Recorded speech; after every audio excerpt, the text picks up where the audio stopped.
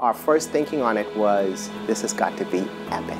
Timothy Gibson would have been so happy to have been here to see this very simple take on his epic anthem. You saw everybody stop and stand to their attention.